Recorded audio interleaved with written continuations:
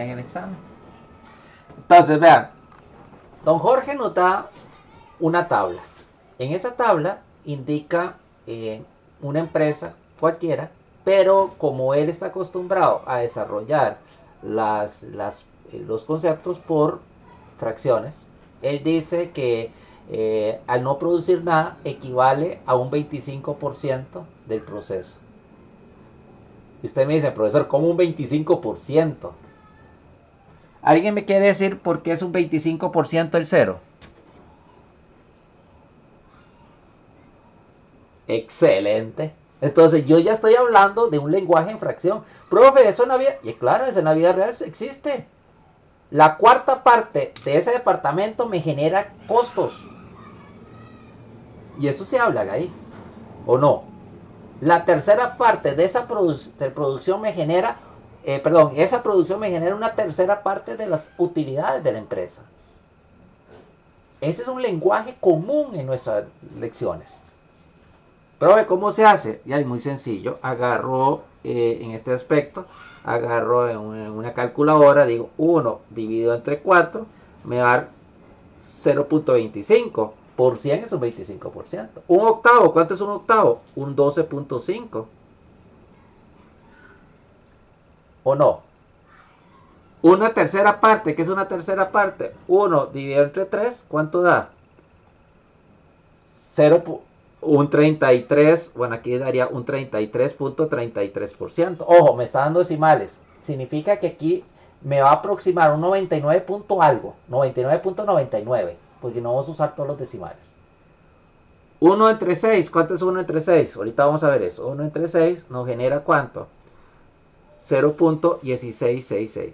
O sea, un 16.66%. Y este me genera un 12,5. Profe, ¿cuánto es suma de eso? Y ahí veamos. 25 más un 12.5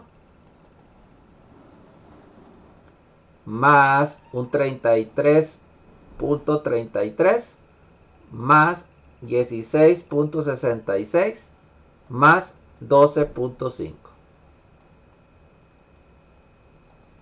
¿Están viendo el por qué? Y eso me da, vean, profe, me da un 99.99 chicos y chicas. Ahí está el 100%. Profe, no me dio, es que no estamos usando todos los decimales. Ok, matemáticamente, ¿cómo sé si ese es el 100%? La suma de esas fracciones me tiene que dar cuánto? 1. Vamos a ver. Vean que todo tiene un porqué. La matemática es linda. 1 entre 4. Esa es la fracción. Es para no hacerlo fracción porque duró mucho. 1 dividido entre 8 más 1 dividido entre 3 más 1 dividido entre 6. Ustedes lo hacen en fracción, muchachos. Yo ahí estoy poniendo fracciones. Más, porque quiero hacerlo rápido. 1 entre 8. Eso me tiene que dar un 1. Si no me da 1, está malo. Ahí está. Es el 100%. De otra manera, don Jorge nos enseñó que en las empresas pueden haber fracciones. Y esas fracciones equivalen a qué porcentaje. Ah, qué interesante. Entonces, ¿ahora qué hacemos? Sacamos mu. Entonces, ya mu de x, porque ya, ya, nos, ya tenemos la data. Primero, ¿cómo, ¿cómo? ¿Lo entendieron? Si hay fracciones, ustedes lo dividen nada más. O sea, no le tengan miedo. Divídalo. Entonces digo, mu, ¿quién sería mu? 0 por 0.25. Más 2 por 0.125 más 4 por 0.333333 más 5 por 0.1666 chicos esos son los decimales verdad más 3 por 0.125 mi mu de x ya está la operativa mi mu de x me va a dar, vamos a ver, 0 es 0, lo voy a hacer rápido, 0 es 0, 2 por 0.125, porfa, hágalo todos, 4 por 0.33333, yo uso 5 dígitos, pero no importa, usted lo hace con 2, 5 por 0. no, no, mejor 5 dígitos, como siempre he dicho, 66, más 3 por 0.125.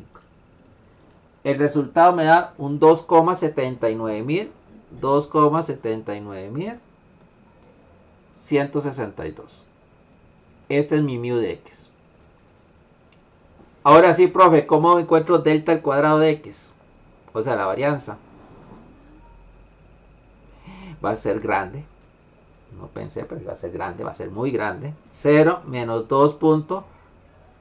2.79 162 elevado a la 2 por... Yo creo que ese sí va a dar eh, espacio, pero no importa, lo vamos a hacer. Por... Me perdí. Por 0,25. Más 2. Probe qué está haciendo. Y ahí la fórmula de la varianza será más 79, 162 al cuadrado por 0,125.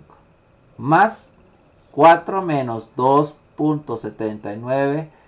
162 al cuadrado por 0.33333 más 5 menos 2.79 162 al cuadrado por 0.16666 y más 3 menos 2.79 162 al cuadrado por 0.125 vamos a ver la más larga es la varianza, eso sí se los digo.